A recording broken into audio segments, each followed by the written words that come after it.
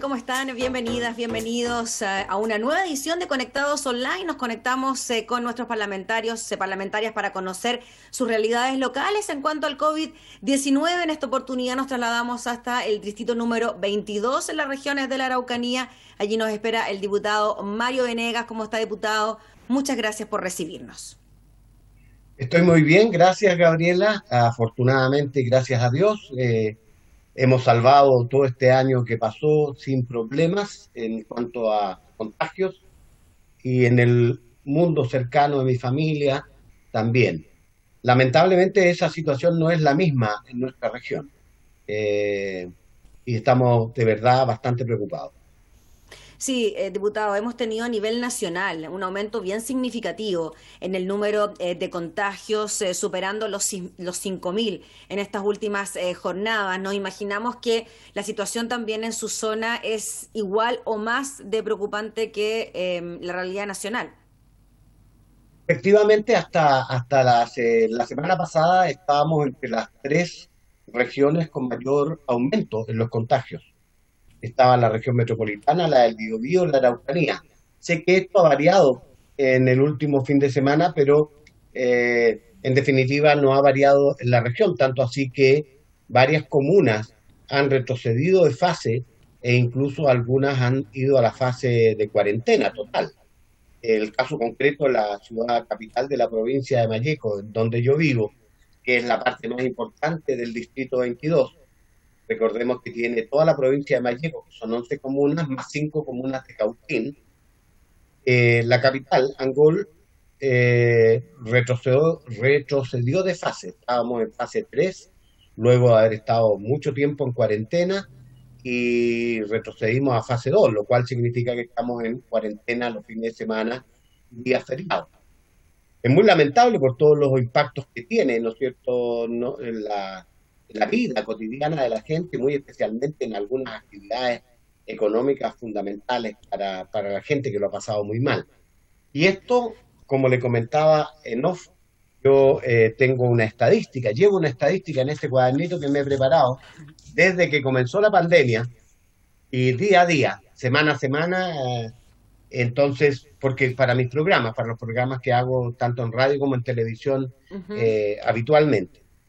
Por ejemplo, la última semana de, mi distrito, el 22 que tú mencionas, que, va entre el 26 de febrero y el 5 de marzo, Angol, la capital, eh, tuvo 116 contagios, con 96 casos activos, lo que es una cifra muy alta. Coyipulli, una comuna cercana, 111 casos en una semana, 111, o sea, el promedio está por encima de los se acerca como a los 15. 95 casos. Traiguén, preocupación, Purén, Victoria, aunque ha bajado respecto de semanas anteriores, Autaro, Vilcún, son los casos más graves en estas 16 comunas que conforman el Distrito 22, que es toda la parte norte de la región de la Araucanía. La verdad es que las autoridades han eh, advertido que hay una eh, potencial riesgo de que el sistema de seguir este nivel de contagios colapse. Sobre ese mismo punto le quería preguntar, diputado Venegas, en cuanto a las camas críticas, que claro, es lo que más nos preocupa en relación a aquellos pacientes que llegan a tal nivel de complejidad que necesitan estar internados en una UCI. Eh, ¿Cómo estamos con aquello, considerando que en los momentos más críticos de la pandemia del año pasado habían traslados interregionales para poder eh, entregar aquella cama crítica a quien lo necesitara? Bueno, a, decir de las autoridades del sector de salud, eh, estamos en una situación, si bien no al 100% las camas ocupadas, sí en un rango que lo pone en una situación crítica en los principales hospitales que tenemos en la región, que a saber el hospital eh, de Temuco, el hospital de Angol y el hospital de Victoria, que serían los tres más importantes en esta red. Eh, de verdad que estamos preocupados porque, como tú mencionaste, superamos la barrera de los 5.000 a nivel país. Estamos cerca de 100 muertos, fallecidos, eh, vidas valiosas que se pierden como consecuencia de la pandemia. Y pareciera ser que estamos en un punto que tan grave o peor de los peores que vivimos en el año pasado. De manera que de verdad, si de algo sirve, es para hacer tomar conciencia en la necesidad de, primero, que las autoridades tomen medidas adecuadas, porque pareciera ser que todo esto tiene que ver con una decisión que se muestra equívoca, como fue el autorizar los permisos para vacaciones. Parece que estamos viviendo, ¿no es cierto?, la consecuencia de eso, que a la luz de las cifras eh, pareciera ser que no fue la más eh, adecuada de las decisiones. Y, ahora hay que tomar otras medidas probablemente más drásticas que están anunciando las autoridades. Sí, y sobre esas medidas le quería preguntar, por ejemplo, lo que ocurrió recientemente con el retorno a clases por parte de los estudiantes. Em, se habla de que 50 colegios han debido cerrar sus puertas producto del COVID y el ministerio dice que sí, claro, que es una cifra que preocupa, pero que eh, llega al 1% de los colegios a nivel nacional. Eh, ¿Cómo ve usted esa determinación y cómo se ha llevado este proceso? Llevamos poquito, poquito más de una semana, pero el primer balance. Escuché a un distinguido representante del Colegio Médico que creo que es de la región de Valparaíso, eh, y me pareció muy lúcido su análisis, en el siguiente sentido. Dice, si efectivamente, y dada la importancia que tiene que los alumnos retornen a clases, ¿no es cierto?, presenciales por todos los beneficios que ellos tienen, eh, sin duda, el Estado tiene que garantizar que esto sea seguro, que tengan todas las condiciones, ¿no es cierto?, y garanticen las condiciones que no eviten que nuestros niños se contagien. Pareciera que eso no está funcionando. Lo que tú señalas, porque ha habido 50 colegios que han debido suspender porque hubo contagios. Pero él decía algo muy lúcido. Eh, decía, si queremos poner a los niños y entendemos que la educación es esencial, entonces tenemos que ponerlo en el centro. Y todas las medidas que las autoridades tomen deben ser coherentes con ese propósito. Y no se entiende entonces que se abran los malls, que se abran, ¿no cierto?, los centros comerciales y toda la cosa, porque eso significa, ¿no es cierto?, este, posibilidades grandes de contagio. Y entonces, el transporte, por ejemplo, no todos los niños eh, tienen la posibilidad de que sus padres los vayan a dejar en sus propios autos al colegio. Deben usar el transporte público y el transporte público, como el metro, por ejemplo, y las eh, buses, claro que no logran eh, instalar medidas suficientemente efectivas para garantizar que no haya contagio, porque van, a, van asignados al interior de esos, eh, particularmente en el metro. Entonces, yo creo que eh, no ha sido muy coherente el trabajo de las autoridades y es por eso que yo entiendo la preocupación expresada por toda la comunidad educativa, le hace profesores, le hace asistentes de la educación, le hace educadoras de párvulos, asistentes de párvulos que están muy preocupadas y que a través de sus gremios han dicho, oiga, no creemos que estén dadas las condiciones para un retorno en estos momentos en que el pic de contagio está por ahí arriba, eh, parece una medida un tanto incomprensible. Y, y quiero decir que no se malentienda, yo soy profesor, así que como, poco sé la importancia que tendría volver a clases presenciales.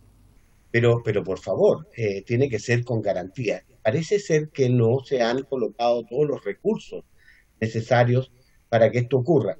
¿Cómo garantizamos que los niños, por ejemplo, más carenciados tengan acceso a Internet para hacer clases telemáticas? ¿Tendrán todos computadores? Claro que no tienen, como un tercio no lo tiene.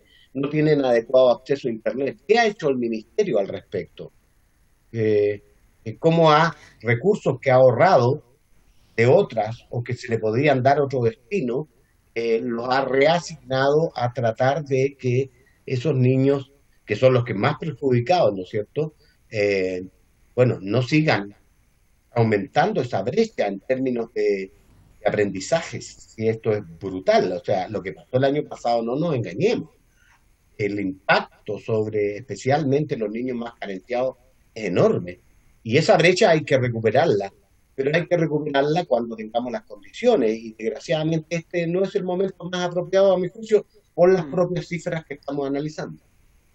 Eh, eh, diputado, no puedo dejar de preguntarle por la situación eh, en su zona que se vive lamentablemente eh, bien seguido, ¿no? que son los hechos de violencia que se registran. Eh, ya nos hemos enterado de las situaciones que se han ido aconteciendo en las últimas eh, semanas y han surgido distintas alternativas, distintas medidas que se barajan para ir solucionando el tema, pero nada en concreto. ¿Qué le pasa a usted con eso y con las soluciones que han ido emanando por parte del Ejecutivo? ¿Se ha pensado en algún momento de reimpulsar el plan Impulsa Araucanía, que en su momento encabezó el ministro Moreno, por ejemplo?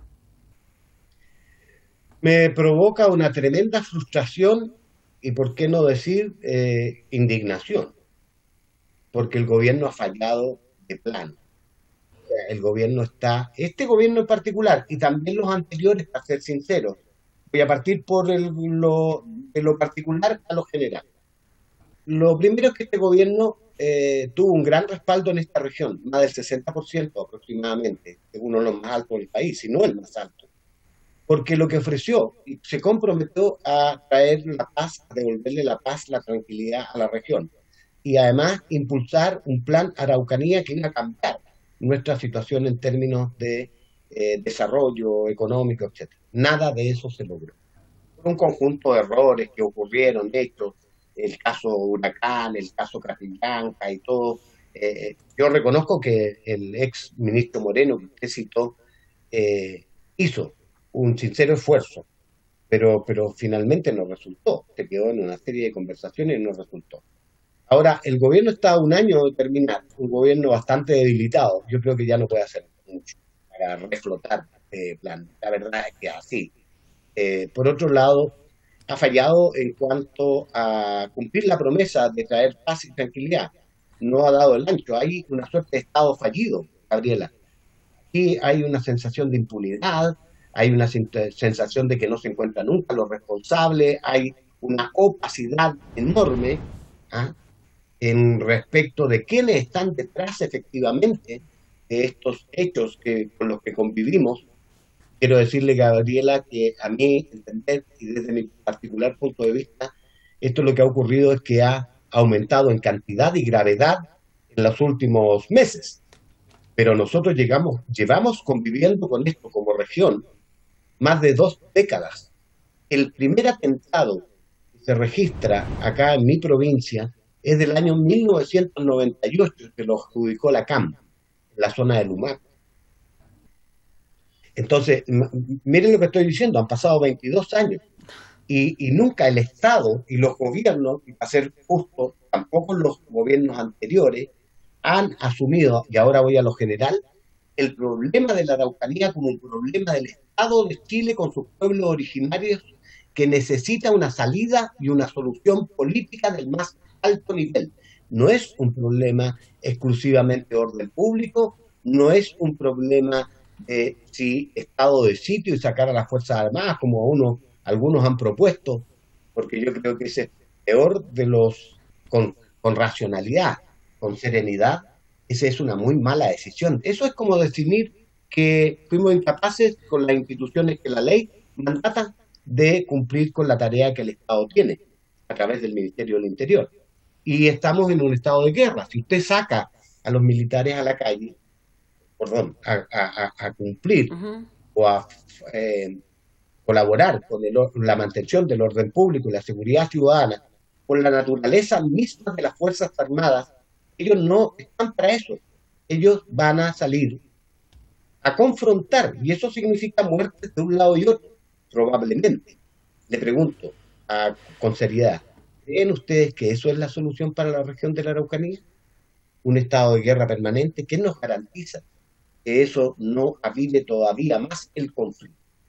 Que lo que yo tengo claro es que hay efectivamente grupos que no, algunos están claros porque lo han explicitado directamente, como la CAM, la ORT y otros, hay opacidad, como le decía, que han optado por las, eh, el uso de la violencia y las armas como mecanismo para alcanzar sus propósitos. Hay una mezcla, un cóctel muy explosivo acá, en donde se habla de de, de, droga, de tráfico de drogas, se habla de robo de madera, se habla de vigiato, se habla de robo de vehículos, etcétera, etcétera. Es una situación extraordinariamente compleja. ¿Quién debería darnos tranquilidad a nosotros?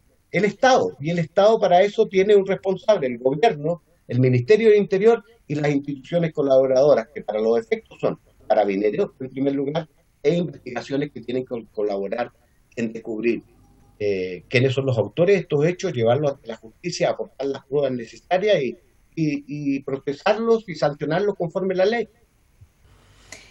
Es lo que esperamos, pues, diputado, y le agradecemos enormemente por su tiempo para conversar de estos temas eh, que tanto nos interesan, eh, lo que ocurre en su zona, lo que ocurre con el COVID, por supuesto, también eh, con estas posibles soluciones que se están barajando para terminar con estos años y años de violencia. Muchas gracias, diputado Mario Venegas, por su tiempo. Que esté muy bien. No, gracias a ustedes, que estén muy bien, que tengan un gran año, porque estamos empezando este año 2021-2022, ¿no es cierto? Para nosotros el año termina en enero del 2022, el año legislativo. Que sea un buen año legislativo, diputado. Y muchas gracias. Que estén muy bien. Nosotros eh, nos despedimos, le agradecemos al diputado Mario Venegas por su tiempo y nos reencontramos en una próxima edición de Conectados. Que esté muy bien.